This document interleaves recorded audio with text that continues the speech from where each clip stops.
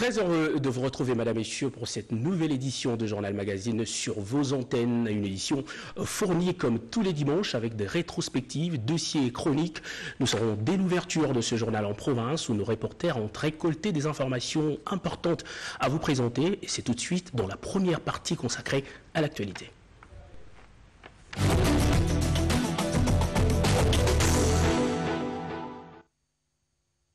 Magazine. Passer de jours dans les bourbiers avant d'atteindre sa destination, c'est le nouveau calvaire des transporteurs qui empruntent la route nationale numéro 3 entre Bukavu et Kisangani. Nos reporters sont descendus sur place. Leurs images peuvent se passer de tout commentaire. Regardez.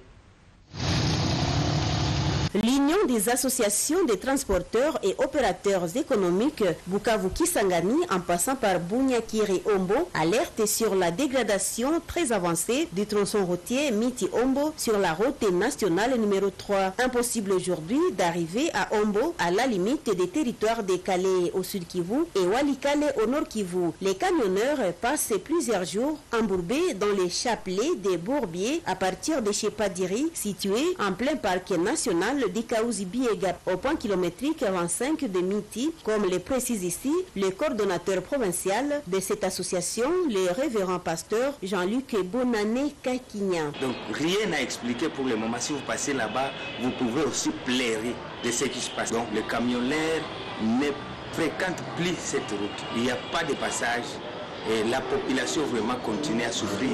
Nous voulons que euh, notre gouvernement nous, nous accompagne et nous aide pour que la route soit quand même praticable. Les usagers, les transporteurs, les humanitaires et autres sollicitent l'intervention des autorités locales, provinciales et nationales pour que ces tronçons routiers soient réhabilités. Les transporteurs comptent voir le directeur provincial de l'Office des routes Sud Kivu, l'ingénieur Anissé Kake Satamukombo, qu'il soit leur intermédiaire entre le gouvernement provincial, central et le FONER. Cette route se trouve aujourd'hui dans cet état suite au manque d'entretien permanent après sa réhabilitation dans le cadre du programme d'urgence des 100 jours du président de la République, Félix Antoine Tshisekedi Chilombo. La réhabilitation de cette route serait une solution durable pour mettre un terme aux souffrances des populations des territoires de Calais au sud Kivu, Walikale au nord Kivu et Lubutu au Maniema jusqu'à Kisangani. Cela n'est donc plus un secret pour personne. La problématique du transport et de l'enclavement dans certains coins du pays demeure l'une des plus génériques que connaît la République démocratique du Congo dans son processus de développement. On parle fréquemment des infrastructures routières, mais la situation est encore plus alarmante dans le secteur aérien. Notre chroniqueur, Edith Chala, tire la sonnette d'alarme. Aucun développement n'est envisageable dans un environnement enclavé, et pourtant, c'est ce que sont devenues de nombreuses provinces de la République démocratique du Congo. Comment atteindre les 145 territoires du vaste programme du gouvernement alors que la route a été oubliée il y a bien des décennies Le chemin de fer, construit pour obéir à une logique prédatrice, n'a enregistré aucune réorientation. Le transport fluvial ou lacustre n'étant pas suffisamment exploité, le seul moyen de transport qui s'est développé en fonction de l'activité économique réelle du pays, c'est le transport aérien. Un transport qui est encore un luxe qui ne peut s'offrir tout Congolais. La joie du juste prix n'a été que de courte durée. Les aéronefs sont de plus en plus rares. Congo Airways ne compte plus qu'un seul avion pour desservir 26 provinces. Et la situation des quasi-monopoles n'est jamais profitable aux consommateurs. CAA, Air Kassai, Gomer, dans les limites de leurs moyens, desservent les villes. Au regard du besoin, c'est devenu un parcours de combattants se trouver une place dans un avion. Le spectacle au check-in d'avant-embarquement est révélateur du stress des voyageurs. En plus, les infrastructures aéroportuaires sont surannées. Le secteur est très malade. Il faut vite agir pour le sortir du coma afin de donner des ailes au vaste programme de développement à la base des 145 territoires. C'est un dimanche ordinaire pour certains, mais très spécial pour les chrétiens du monde qui célèbrent ce jour la naissance de Jésus-Christ. La Pâque a bien vécu dans différentes églises. Notre rédaction, qui a fait circuler sa caméra, nous rapporte les faits dans quelques églises de la capitale dans ce reportage commenté par Romain Marie Lélo. Alléluia, Alléluia, Alléluia, Alléluia. Le tombeau est vide, le Christ est ressuscité. Il est vivant, il a vaincu la mort. Tel est le message véhiculé à l'occasion de la fête de Pâques, la libération du genre humain. Cette solennité a commencé dans l'Église catholique par la veillée pascale, et ce pour commémorer la résurrection du Christ. Le pape n'a pas dérogé à son devoir pontifical, c'est lui d'accorder la traditionnelle bénédiction à tous les chrétiens, d'abord dans la ville de Rome, ensuite dans le monde entier. Urbi et Orbi, exultet, annonce de la Pâque. Mondaya Pasika a été au rendez-vous. Une prière au cours de laquelle l'univers reconnaît la grandeur de Dieu, Alpha, Oméga. En la paroisse Notre-Dame de Fatima, dans la commune de la Gombe, le président de l'Eucharistie, le Père Alphonse Mouy, a dans son homélie fait mention du Christ en tant que lumière du monde, lumière symbolisée par le cierge. Lui qui partage la même condition avec Dieu a accepté la mort au fin de racheter le peuple de Dieu. Un exemple à suivre pour se libérer des maux qui rongent la nature humaine. En la paroisse du Sacré-Cœur de Jésus dans la commune de la Gombe, le décor a été religieusement planté, car l'espérance de tous a jailli du tombeau. Le Christ est sorti libre et vainqueur. Le célébrant du jour, le Père Kiala Weslas, a convié la communauté paroissiale à la culture de l'amour et de la paix. Selon lui, il n'y a plus de grand amour que de donner sa vie pour ceux que l'on aime, comme l'a dit Jésus. En l'église protestante de la communauté baptiste du fleuve Congo, dans la commune de la Gombe, c'est toujours le même événement. Le tombeau est vide. C'est l'absence réelle de la dépouille mortelle de Jésus-Christ. C'est la vraie bonne nouvelle selon le prédicateur, le professeur Raymond Angendou Mongenzo, coordonnateur du collège pastoral. L'homme de Dieu a insisté sur trois éléments dans son homélie. Il s'agit notamment de l'absence de cadre où Jésus devrait reposer éternellement, de la représentation de Dieu et de la présence spirituelle de Jésus.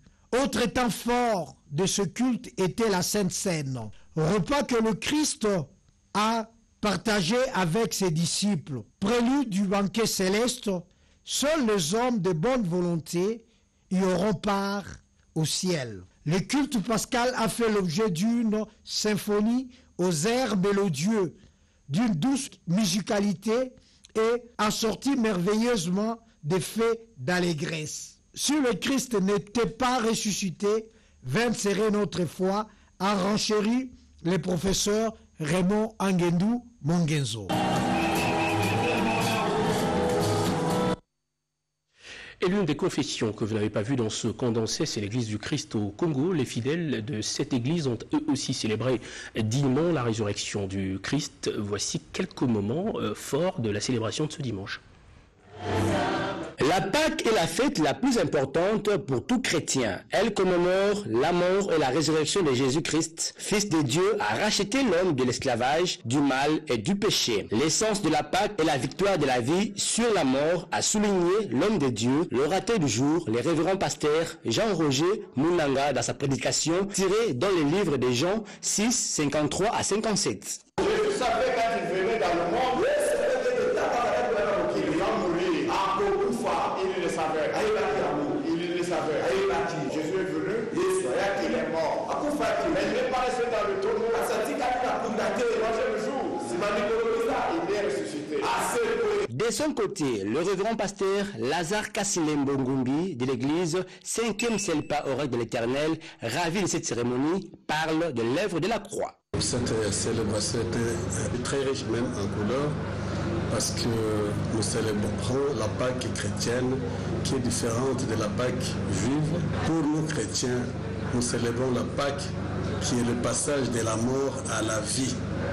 Christ est mort, mais surtout qu'il est ressuscité, parce que si Jésus n'était pas ressuscité, la Bible dit notre foi pas de. Autre moment fort de cette célébration à la cérémonie de la Sainte Seine qui dit de même, après avoir soupé, il leur donna la coupe en disant, cette coupe est la nouvelle alliance à mon sang qui est répandue pour vous. Ainsi, deux louanges et d'adoration ont sanctionné la fin de ces cultes dominicales consacrés à la célébration de la fête de la Pâque à l'église 5e celle par oracle de l'éternel située dans la commune de Lagombe.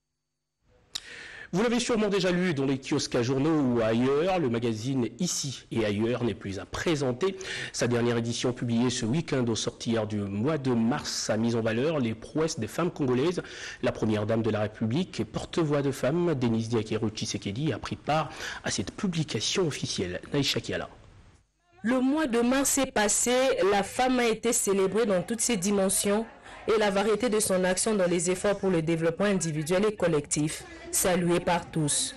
Le magazine ici et ailleurs l'a immortalisé et par le fait même maintient permanente la sensibilisation par ce neuvième numéro dédié.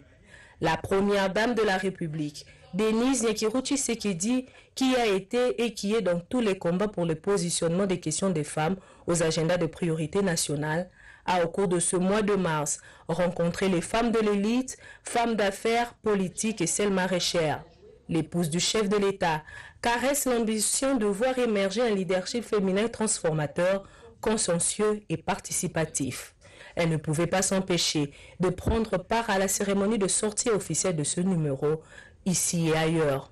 Je me réjouis d'être aujourd'hui au milieu de ces femmes qui, sans relâche et avec dignité, portent notre nation. Vous êtes entrepreneur, cadre d'entreprise, employé, commerçante, femme ménagère ou encore jeune entrepreneur. Votre travail de chaque jour est une valeur inestimable qui tient notre société dans la bonne direction. Quand il nous arrive d'avoir un moment de doute face à l'obstacle ou à l'adversité, quand on pense que la marche est trop haute pour être franchie, souvenons-nous de tous les combats qu'on nous disait impossibles, mais que nous avons finalement remportés haut la main. Souvenons-nous du chemin jusqu'ici parcouru et armons-nous d'espoir et de courage pour l'avenir. De l'autonomisation de la femme à l'entrepreneuriat féminin en passant par la masculinité positive, tous les panélistes sont unanimes. Le potentiel d'une nation réside dans le développement de son capital humain. Actrice publique ou dans l'ombre, la femme en est la pièce maîtresse. Lorsque nous avons démarré nos activités au guichet de création d'entreprise, pour atteindre aujourd'hui pratiquement 35% de création d'entreprises par les femmes. Donc c'est une progression qui est édifiante, qui montre le dynamisme des femmes entrepreneurs. Ça fait très très longtemps, surtout par rapport à la première dame, que nous, nous la suivons de près. Nous trouvons qu'elle fait un travail exceptionnel dans le sens où elle permet à ce que les meilleurs des talents que nous avons, surtout de la gente féminine, puissent aller de l'avant. Les efforts pour une participation effective de la femme au développement de nos communautés trouveront toujours un écho favorable auprès de la très distinguée Première Dame. Le forum francophone sur le VIH-Sida s'est clôturé ce week-end à Kinshasa. Un appel à la reconnaissance de l'importance de la santé sexuelle a été lancé lors de la clôture. Suivez ce reportage de Luisen Sakala. Parmi les résolutions et recommandations des assises de Marseille, les participants se sont convenus de mobiliser les moyens nécessaires pour que chacun puisse bénéficier de son droit à un état de bien-être physique, émotionnel et social en relation avec la sexualité. Le PVVIH et les acteurs francophones en appellent au pouvoir public de créer un environnement favorable au déploiement de l'offre en santé sexuelle à travers le système de santé et communautaire et de reconnaître le rôle clé des acteurs communautaires. Ils ont suggéré aux partenaires et autres bailleurs de fonds pour financer plus d'interventions de santé sexuelle telles que l'offre de prévention. Cette prise en considération de la santé sexuelle se base sur le respect des droits des uns et des autres. Plusieurs thèmes ont été débattus au cours de cette conférence Afravi 2022 de la stratégie antirétrovirale à l'échec et résistance au VIH en passant par la prévention de la transmission et les politiques de santé et droits humains. Les assises de Marseille ont tenu toutes leurs promesses. Et forte d'une communauté talentueuse et dynamique, la Fravie a plusieurs défis majeurs à relever. Vous l'aurez donc compris, le forum s'est bien tenu à Marseille, en France, et non à Kinshasa. On revient justement à Kinshasa, où Denis Kadima était hier à la mosquée de Mpassa. Le président de la CENI était allé témoigner sa gratitude aux responsables et fidèles musulmans pour leur implication à la formation du bureau de la Commission électorale nationale indépendante. Tétis Samba. Le président de la Commission électorale nationale indépendante a été l'hôte de la communauté islamique à la mosquée de Lampassa ce samedi 16 avril 2022. Denis Kadima Kazadi est allé témoigner sa profonde gratitude à cette communauté qui le remercie pour le soutien qu'elle lui a apporté pour accéder à ce poste.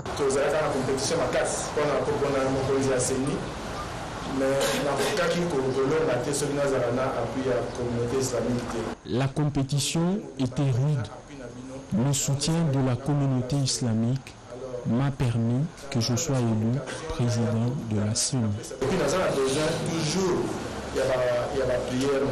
L'officiant du jour, Tchèque Abdallah Mangala Louaba, a exprimé les vifs remerciements de sa communauté à l'endroit du président Denis Kadima Kazadi, lui qui est le premier à accomplir ce geste de solidarité. À la fin de tout, la communauté musulmane lui a remis quelques produits de consommation courante pour la rupture du jeûne du mois de Ramadan qui interviendra le lundi demain prochain.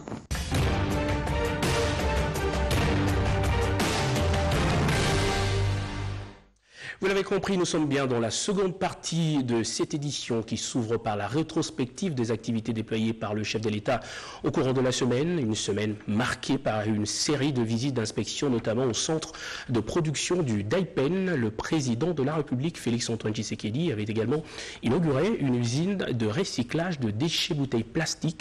La semaine du président, c'est avec Pierre Moïsa. Des questions liées à la paix, la sécurité, les infrastructures et l'intégration régionale étaient au cœur des entretiens que le président de la République Félix-Antoine Tshisekedi Chulombo a eu en début de semaine à la Cité de l'Union africaine avec le secrétaire exécutif de la communauté de développement d'Afrique australe, Elias Magossi. Ce dernier a indiqué que le président Félix-Antoine Tshisekedi, élu par ses pairs en août 2021, en tant que président entrant de la SADEC, prendra ses fonctions au mois d'août prochain lors des assises de cette organisation sous-régionale. À la Cité de l'Union africaine, par visioconférence, le chef de l'État Félix-Antoine Tshisekedi Chulombo a pris part à la réunion extraordinaire du sommet de la Troïka de la SADEC. Au cours de ces assises, les chefs d'État et de gouvernement de la communauté de développement d'Afrique australe et du Mozambique ont examiné le rapport des activités ainsi que les budgets de la mission de la SADEC au Mozambique, la SAMIM. La ville de Kinshasa vient d'être dotée d'une usine moderne de recyclage de bouteilles plastiques, Kintoko OK Plast, a été inaugurée par le président de la République Félix-Antoine Tshisekedi Chulombo sur l'avenue Poilot à Kingabwa, Limité. Récolter les déchets plastiques, les recycler, les valoriser et en faire une source de revenus et non des nuisances, c'est le schéma auquel procède l'usine Kintoko, fruit d'un partenariat public-privé avec la société Okeplast du groupe Angel Cosmétiques. 15 millions d'euros, c'est l'enveloppe globale d'investissement de cette usine qui a la capacité de traitement de 50 tonnes de déchets de bouteilles plastiques par jour. Le président de la République a procédé à la coupure du ruban symbolique inaugurant officiellement l'usine Kintoko Okeplast. Le chef de l'État a ensuite visité l'usine, une unité de production disposant des machines innovantes de la dernière génération sous les explications du directeur général des Okeplast. L'usine de Kintoko est la deuxième en Afrique après celle du Nigeria et la première en Afrique centrale. Faire du domaine agro-industriel présidentiel de l'Ancélé une unité de production garantissant l'autosuffisance alimentaire à Kinshasa, c'est la détermination du président de la République. Le chef de l'État a effectué une visite d'inspection des unités de production du Daipen dans la périphérie est de la capitale. Grâce à un partenariat public-privé conclu entre le gouvernement et la société israélienne LR Group Limited, le Daipen a investi dans l'aviculture, l'agriculture et la production des aliments pour bétail. Par ailleurs, la situation sécuritaire dans la province du Nord Kivu particulièrement les dossiers M23, étaient au centre des échanges que le président de la République Félix-Antoine Tshisekedi Chilombo a eu à la Cité de l'Union africaine avec l'envoyé spécial du secrétaire général des Nations Unies dans les Grands Lacs, Wang Zia, en présence de Mme Bintou Keïta, représentante spéciale du secrétaire général de l'ONU à RDC. À la presse, le haut fonctionnaire des Nations Unies a indiqué que cette entrevue s'inscrit dans le cadre de sa prochaine communication au Conseil de sécurité des Nations Unies le 27 avril prochain à New York. Conduit par le Premier ministre Sam Lukonde, une délégation des députés nationaux du Grand Katanga ont été reçus par le président de la République Félix Antoine Tshisekedi Chilombo à la Cité de l'Union africaine. Le garant de la nation a exhorté ses élus du peuple à la gestion responsable de leur communauté pour la cohabitation pacifique de toutes les populations habitant le Grand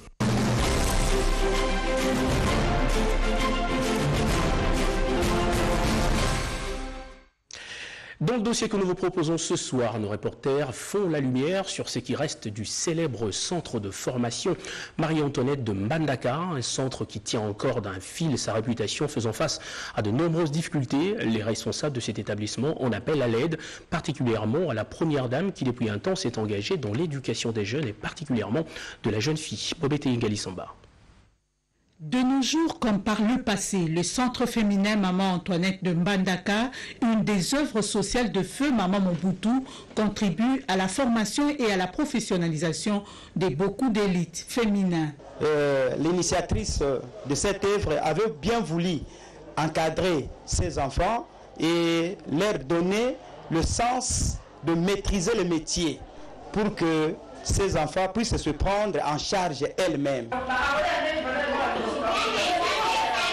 École maternelle pour filles et garçons, enseignement primaire et secondaire et professionnel pour filles vulnérables ou désœuvrées, école des arts et métiers pour encadrement et réinsertion sociale des filles mères. Ce centre a su imprimer une certaine autonomisation des milliers des femmes congolaises. Auparavant, on prenait les élèves seulement pour le cycle court.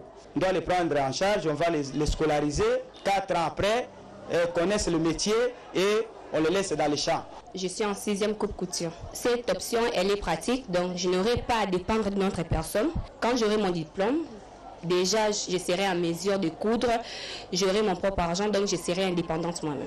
Aujourd'hui, avec l'ouverture aux filières autres que techniques, diverses opportunités s'offrent aux filles de s'orienter dans plusieurs domaines. Néanmoins, les difficultés ne manquent jamais. Bon, les difficultés rencontrées dans notre métier ici, c'est d'abord les matériels que nous devons utiliser pour encadrer les enfants en tant que couturiers, tels que les machines par exemple. Si nous n'avons pas de machines, comment les couturiers peuvent faire son travail?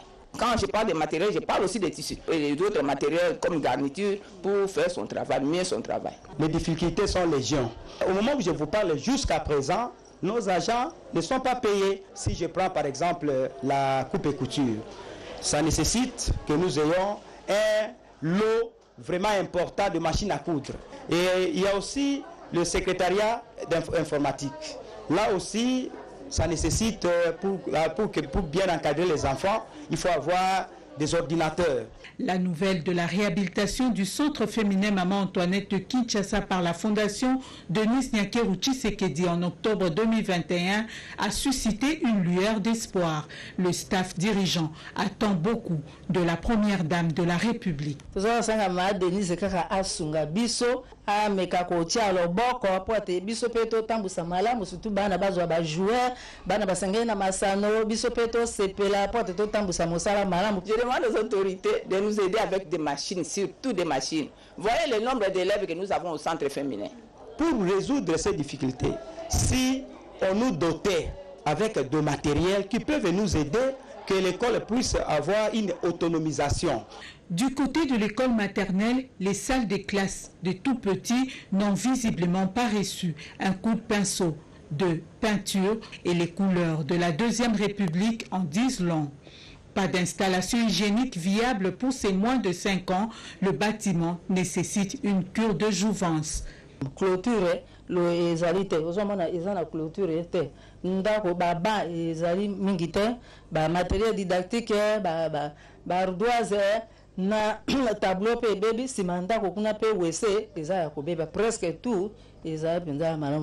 Autre préoccupation exprimée, la régularisation de la situation administrative des éducatrices. Le centre féminin Maman Antoinette de Mbandaka peut répondre ses lettres de noblesse dans l'éducation de la jeune fille, de la fille mère.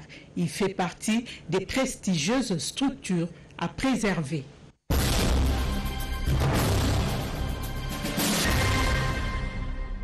L'invité de ce journal, c'est le professeur Béa Kamba. Il est vice-doyen de la faculté de Polytechnique de l'Université de Kinshasa. Professeur, bonsoir et bienvenue. Bonsoir. Alors avec vous, nous allons parler euh, ce soir d'un projet que vous soutenez euh, à Coréacri depuis un temps et qui malheureusement se trouve encore dans, les fardes du gouvernement. C'est le projet de création des grandes écoles polytechniques et d'ingénierie. Professeur, une première question. Pourquoi euh, créer des écoles de polytechnique et d'ingénierie maintenant? En fait, quand on prend euh, le reportage que vous venez de faire passer, vous voyez l'état de nos écoles. Ça caractérise le, sous-développement dans lequel on est, qui est défini tout simplement par euh, le PNUD, par trois éléments essentiels. Nous avons d'abord Hein, l'accès à l'eau, donc l'accès à l'eau, aux infrastructures, aux systèmes de santé corrects. Deuxième élément, c'est les niveaux d'éducation de la population. Troisième élément, les revenus. Faute des revenus, faute d'industrie, on se retrouve dans cet état qu'on venait euh, de montrer. L'importance de ces écoles, c'est que nous voulons que les pouvoirs publics se décident d'arrêter ce que nous venons de voir, de se dire maintenant, stop, on veut nous développer. Et pour se développer, il n'y a pas 50 stratégies, il faut former beaucoup d'ingénieurs.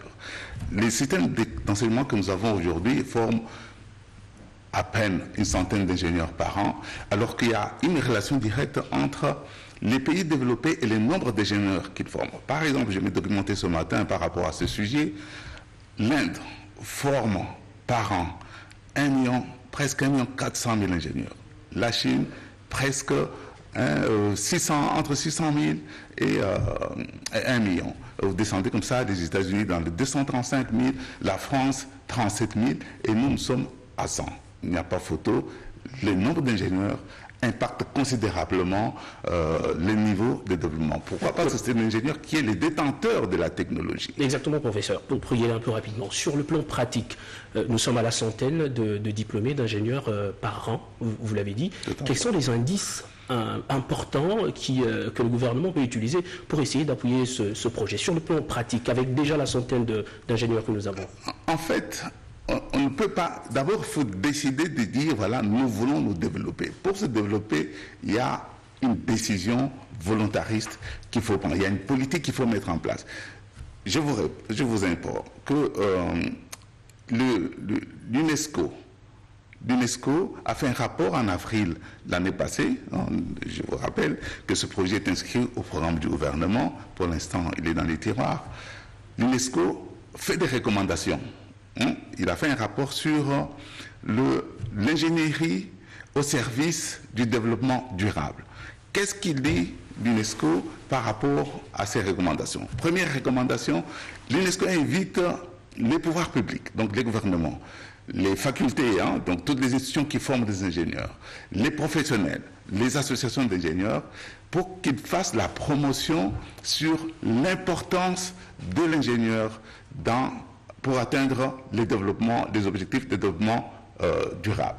L'importance d'ingénieur, parce que c'est la clé. C'est l'ingénieur qui est le détenteur de la technologie.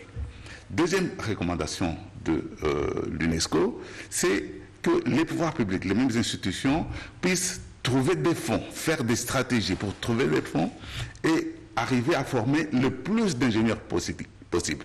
C'est ce que nous faisons comme démarche, ce que nous faisons comme bruit depuis 2019, sans aucun résultat.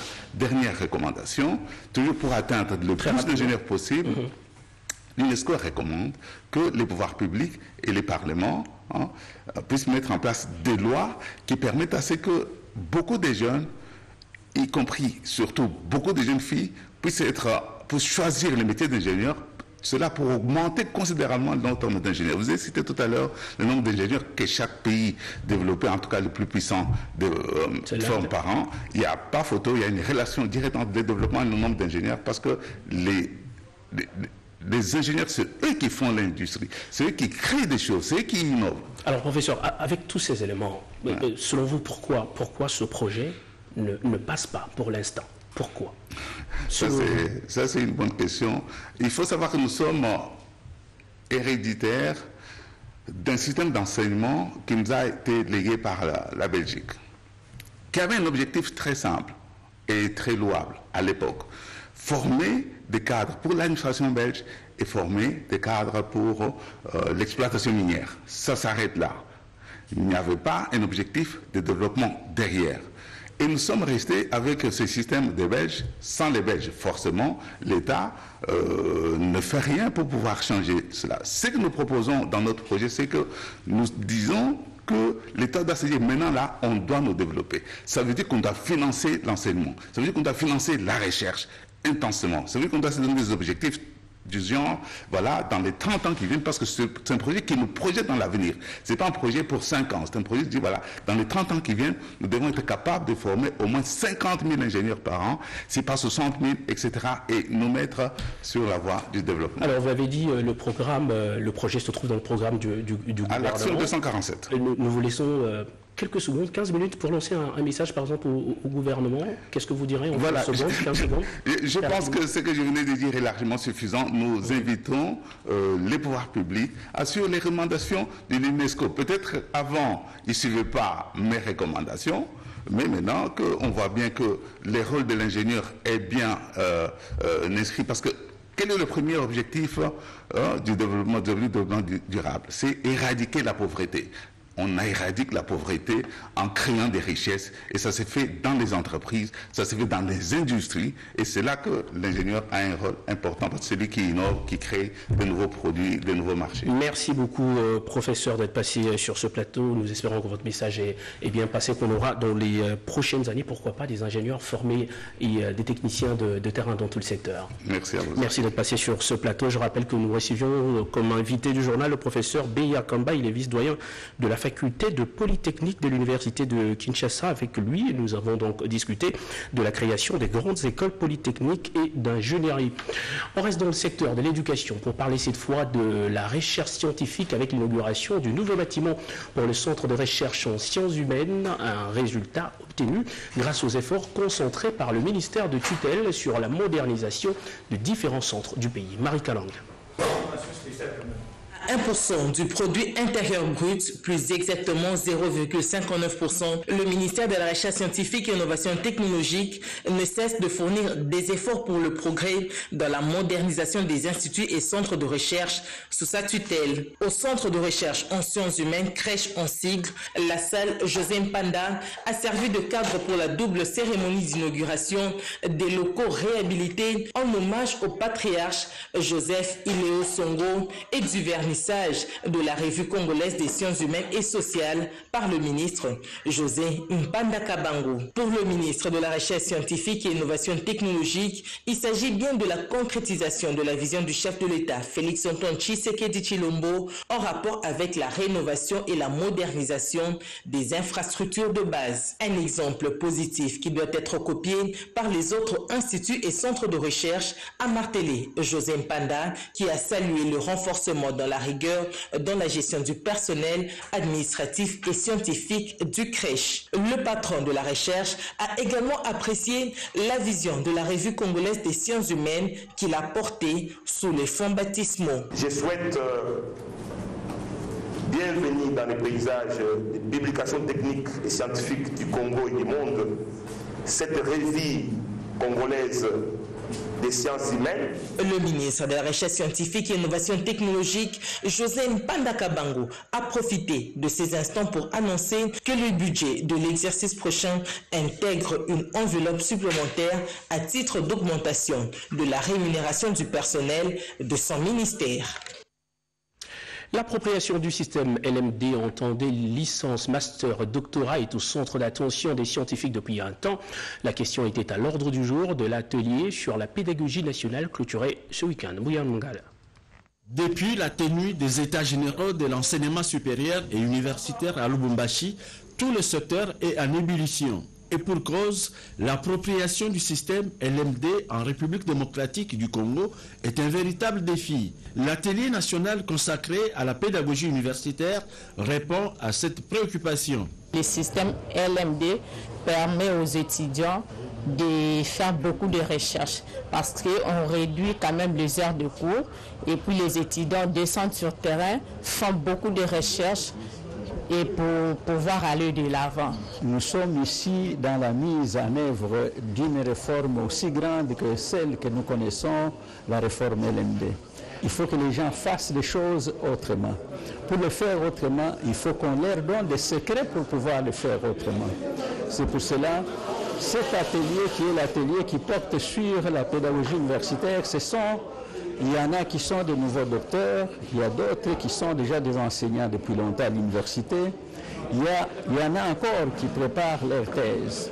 Nous avons voulu les outiller pour que cette année qui commence, lorsqu'ils vont être dans les salles de classe, qu'ils fassent les choses autrement en faveur de l'amélioration de la qualité de l'enseignement supérieur et universitaire congolais. Le gouvernement de la République a pris l'option de rendre effectif le système LMD au niveau des classes de recrutement. Ils sont aux premières loges dans la prise en charge de malades et pourtant ils se sentent derniers du point de vue de la considération. Les infirmiers de la maternité de Kintambo à Kinshasa déplorent le traitement leur infligé par le responsable. À la base, une affaire de prime non équitable. Chimène Dondo, explication. La maternité de Kinshasa est une institution médicale de référence dans la ville-province Kinshasa. Elle dispose d'un personnel diversifié, parmi lesquels les infirmiers et les infirmières. Il est un fait que la maternité ne peut pas exister sans infirmières. Seulement, voilà, les infirmiers constatent qu'ils font partie du personnel marginalisé.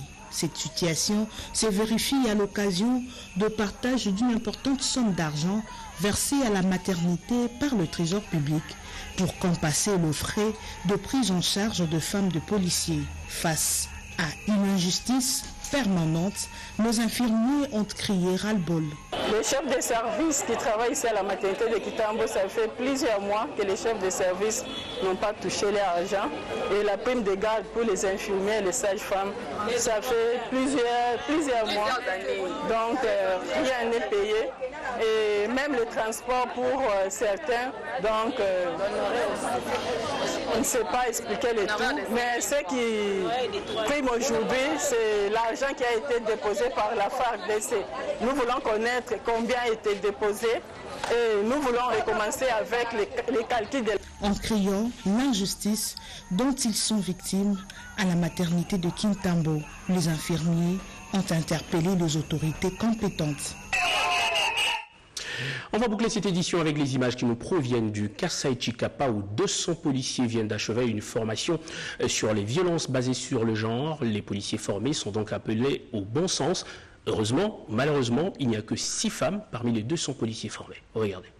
pose de la première pierre pour le début des travaux s'est déroulé au terrain commissariat de référence situé sur le boulevard Lumumba dans la commune de Kanzala. Le colonel Michel Kilumbu qui représentait les commissaires divisionnaires à cette cérémonie témoigne de toute sa gratitude à l'OIM pour la construction de ces commissariats de référence. La cérémonie de séjour s'inscrit dans le cadre de la mise en œuvre du projet de renforcer la cohésion sociale et la confiance entre la population et les autorités à travers la police de proximité. Cette œuvre grandiose, exécutée par l'OIM en concession avec NUD et ONIFAM. Aujourd'hui, l'œuvre se concrétise en conclusion un commissariat de référence de Kanzala et quatre sous-commissariats dans la même commune.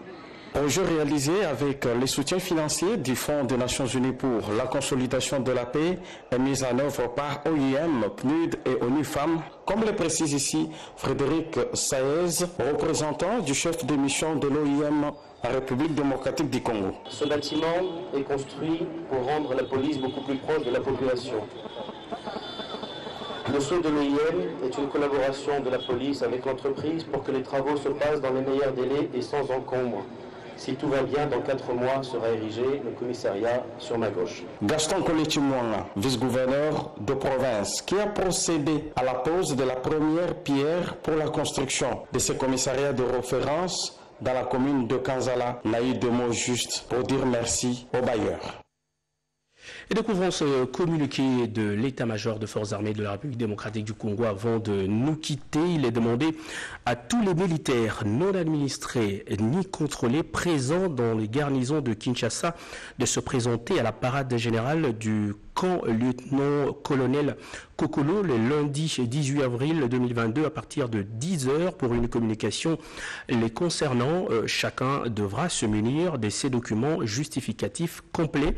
Notez bien, la présence de tous les concernés est obligatoire. Les absents ne s'en prendront qu'à eux-mêmes. C'est signé euh, Sikabwe Asindafal, lieutenant général, chef d'état-major euh, force terrestre.